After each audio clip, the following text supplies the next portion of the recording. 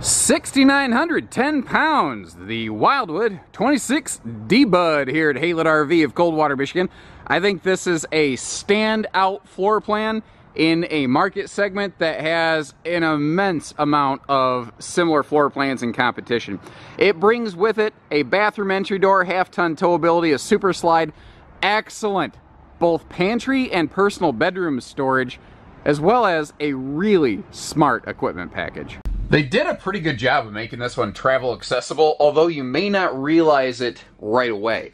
Like, you look here, you've got this extra large U-dinette, and you see it comes pretty darn close to the kitchen counter here, so you're going, yeah, I mean, you know, how am I supposed to get through there? We'll get to that in just a second, but while we're up front, something they did very well here, and it's just, this floor plan tip to tail is extremely well executed.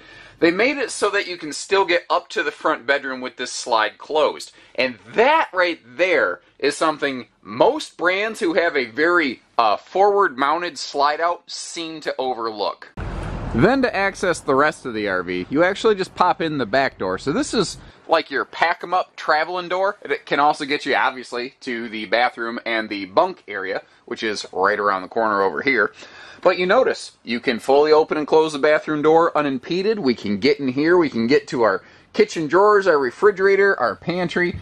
This RV is, frankly, fully 100% travel accessible. You just kind of got to go in one door and out the other. One of the first things that really strikes me on this floor plan, though, is how it's not really any larger than, you know, other half-ton super slide bunkhouses with a bath entry door, but it feels it just cavernous by comparison. It feels huge inside.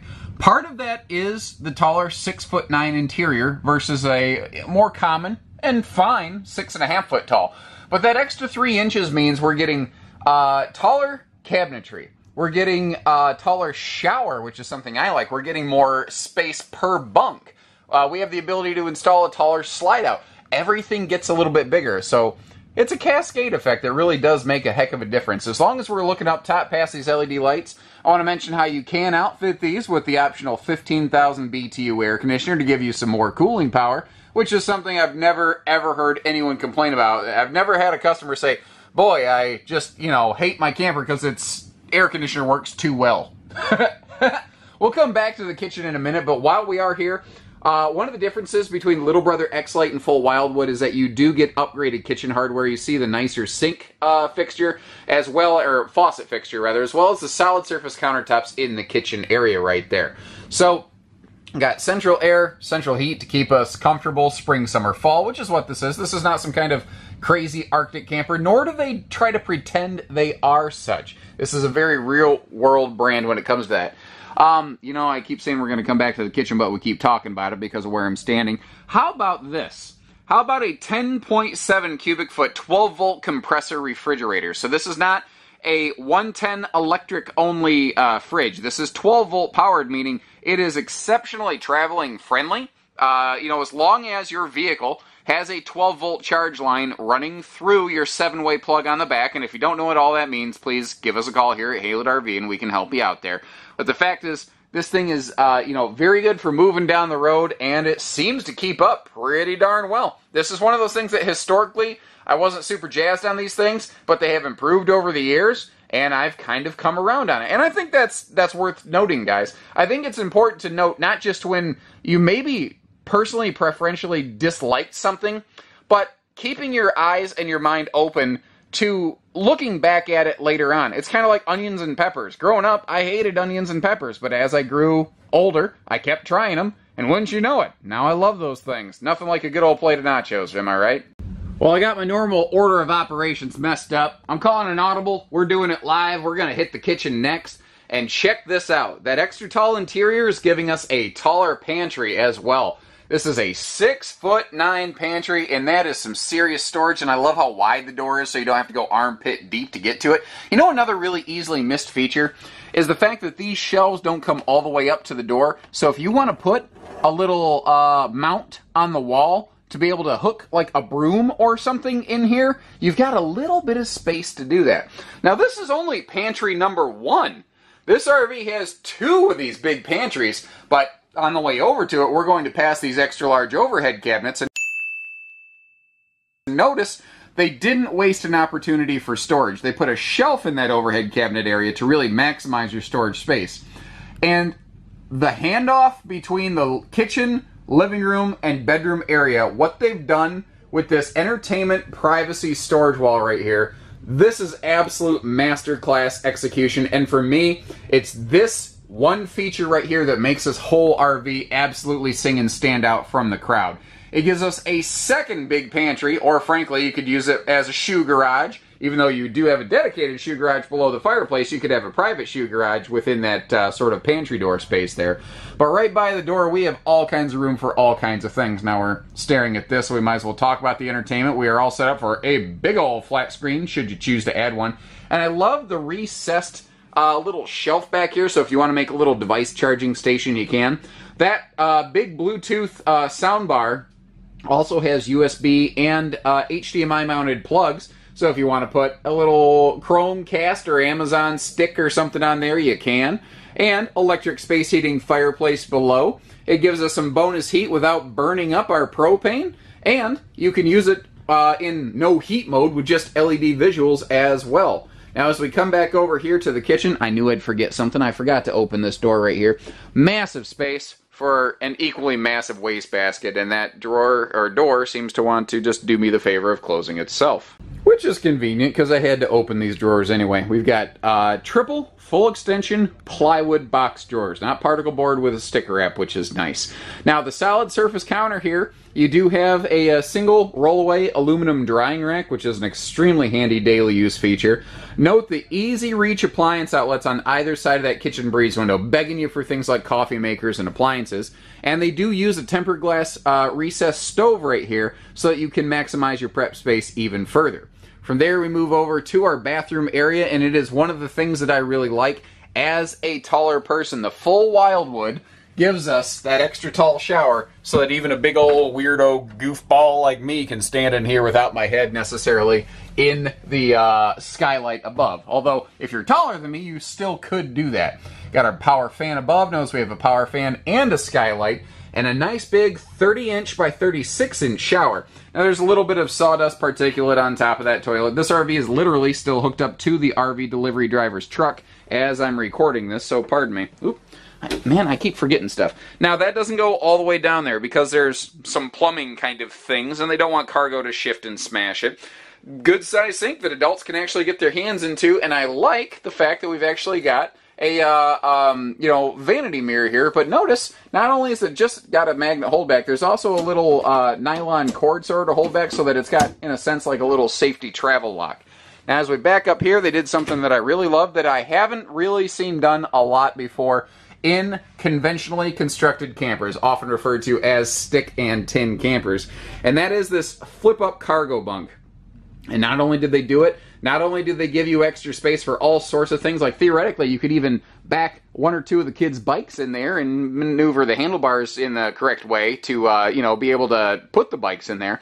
But they also included a gas strut so that you don't have to try to like crawl in there and, and latch that thing and it'll hold itself in transit.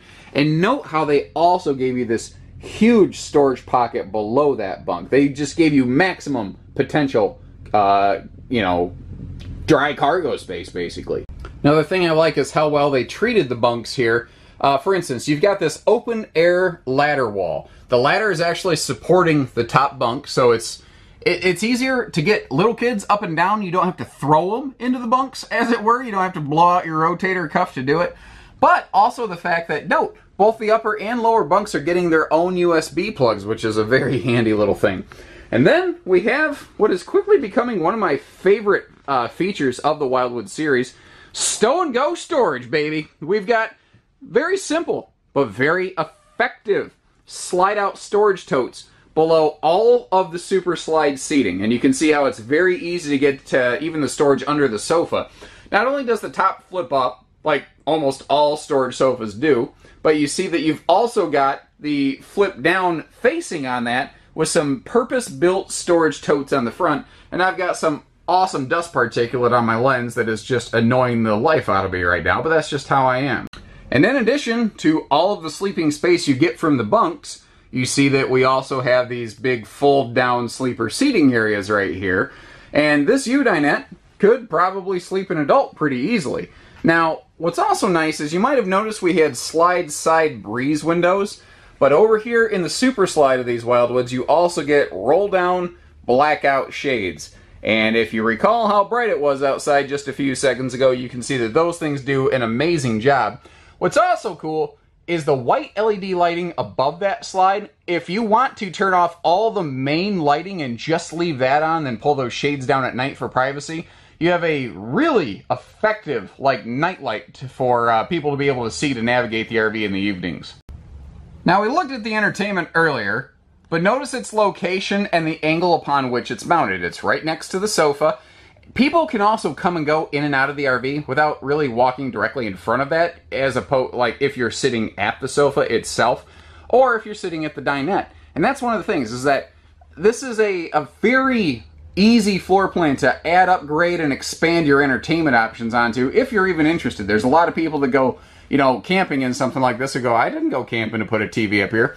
But I'd be surprised if you, you know, couldn't put like a big 40 inch or something up here if you were so inclined. Now we saw that door open earlier, but all closed up again. It does just have a, a good effective, sort of clean appearance to it.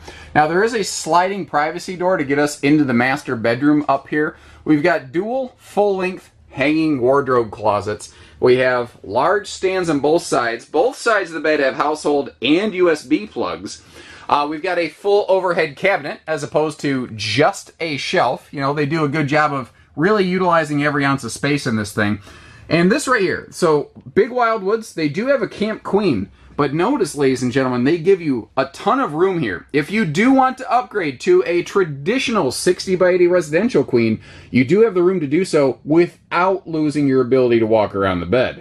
And say it with me, stow and go, baby. These guys are very good at just finding inexpensive, lightweight ways to really improve your daily camping use. So we've got that plywood bed base with those easy lift struts. It gets right up out of the way whenever you need it. That's absolutely no problem. But these little uh, organizer cubes, they could easily be like function like drawers, effectively, like your own personal dresser drawers with yet another shoe garage below.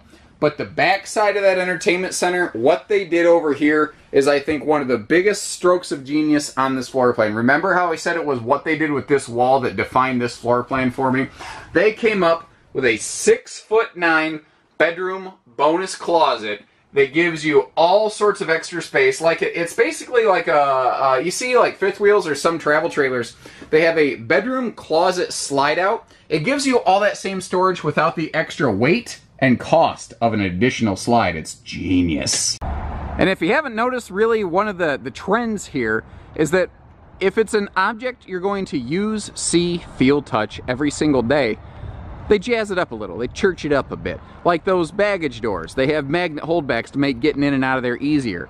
That uh, behind the power tongue jack in your uh, uh, propane bottles, you've got a battery disconnect so that when you're not using the RV, it doesn't go into phantom load situation and eat your battery alive. We've got an extra thick aluminum nose sweep on the front here so that the whole nose looks good. It repels stones and, and brutal headwinds. And also, guys, basically, uh, like any of the metal that you're looking at, it's painted. And you might notice there's almost no decals used on this RV.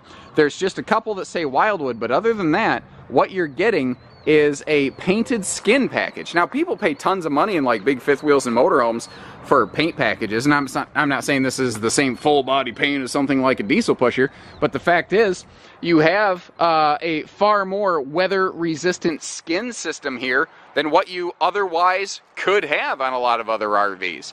Um, so back up here, something just popped into my view I want to make sure I, I uh, take some time to talk about, and that is the JT Strongarm jack leg stabilizers that we have here. That's these yellow bars.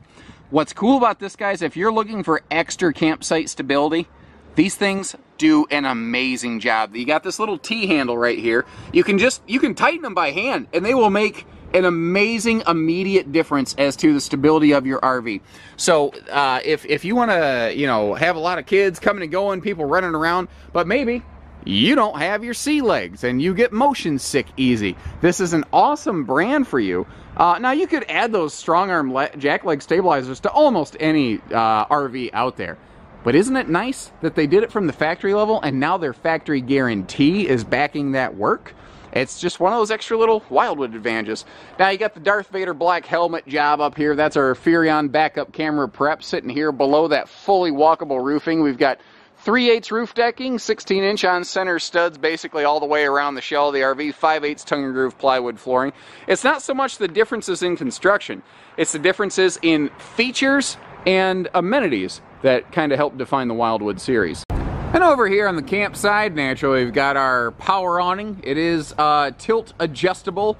It has also an auto rain dump feature, full length white LED lighting below, and that is mounted below a white skirted, I guess you could say, uh, power awning so that it really does kind of brighten up out here. Now the awning clears both entry doors, both of which are anti-slam doors, and you see that this does give us direct bathroom access right here, which is pretty darn nice, so that if the kid's been out running amok, or frankly just running in and out. The number one and number two reasons kids are in and out of campers all day, well people, anybody, not just kids, is to use the toilet or to grab a drink. And you can do both of those things out here without having to uh, track a bunch of dirt through the RV, which is a very, very handy feature. Now, if you're new to RVing, you're a little spooked by the fact that there's a door that goes straight to the bathroom outside. You're afraid that somebody could open the door and you're going to feel like you're in a public restroom stall, except it's going to be a very public restroom stall. Well, don't forget over here in this anti-slam door, we do have a deadbolt lock. So this door to that bathroom is just as secure as that door to your main entry over there. Now, our speakers are low mounted over here, which is pretty darn nice so that it uh, you can keep your volume lower, but actually hear it easier and, you know, not cheese off the neighbors. Um, they've also got a, uh, a pretty neat little mini outside kitchenette here. And that's kind of the trick of a floor plan like this. When you have a bathroom entry door and a super slide, you used to really have to choose, do I get well, uh, with a super slide in a bunkhouse, you, you had to choose do I get a bathroom entry door or do I get an outside kitchenette? And they kind of cracked the code here a little bit and figured out a way to do that. So this is space that's under the uh, kitchen countertop in an area that is a little harder to access from the inside, so they made it easier to access outside. We've got our extra little refrigerator here. So between inside and outside, you have somewhere between 12 to 13 cubic foot of cold storage total in this RV. That's pretty fantastic. We've got our little uh, extra large flip out, you know, sort of dog dish sink basin thing here. Although I like how this is really doubling as a second outside utility shower awesome for campsite cleanup stuff here, especially when you can see uh, the uh, little blue hose also includes a residential sized brass fitting on the end that can just use various sort of garden hose sprayer attachments. And over here we've got a very low profile uh, electric induction cooktop. What's kind of cool about these, this is lower, so it's easier to get to, it's easier to actually cook on. And if you turn this thing off, very quickly, it becomes cool to the touch. Well, it's down here low enough that the kiddos might be able to reach it. And the last thing you want is your little babies with their precious little fingers touching this thing and burning themselves. So very quickly after you turn that power off, it is safe to the touch, which is pretty darn cool. Wildwoods all give us these nice LCI stable steps. The full blood Wildwood here gives us a triple step versus a double. What I like about this one is that it does have a larger top plank. It makes it kind of like a, uh, a seat for your campsite, but also uh, if you drop stuff like your keys, if you're trying to get in that anti-slam door with that extra large handle right there, it uh, you know it's it's easier just to reach down and pick them up. You don't they don't tend to fall down under the camper. Now we've got a simple side mount solar prep plug right here, and that is the perfect place to be able to put you know a uh, solar panel. Is this monstrous front cavity up here? Now remember that you can lift the bed with those easy lift struts right there to get in and out. But the fact is, I mean, they, they actually mount their beds a little higher on these to give you a larger pass-through compartment. But it's this little area over here that I love. So for things like your manual or power tongue jack, uh, your manual, or God bless America, your power awning or power tongue jack manual override crank, there we go. They actually give them a place to get up out of the way so that they're not interfering with the rest of your cargo. And then you got this little guy right here, that little drill bit. Well, I've said for years how instead of power jacks, you could spend $5.99 in my parts store, pretend you're a NASCAR pit crew driver, hook your uh, power drill that you probably already own up to this little thing right here and put your jacks up and down in record speed. And manual jacks actually tend to be rated to hold more weight than power jacks. So this thing's going to be incredibly sturdy and stable, especially when you uh, utilize those strong arm stabilizers that we already talked about. It's not how much this thing costs, ladies and gentlemen. It's what it does for you, and it's just the fact that obviously the people behind Wildwood RV understand how RVs are used and who their target audience is. They get it, they get it inside and out. They do everything that matters and nothing that doesn't. They're all feature, no nonsense. All thriller, no filler, whatever you want to say, I think you get the point. So, give us a call here at Haylett RV because, kind of like a Wildwood RV, we're no nonsense kind of place. So, whether you need hitching pieces, parts, trades, finance, truck and trailer package deals, RV delivery, and everything in between, we do it all. So, take care, stay safe, have fun, and happy camping, everyone.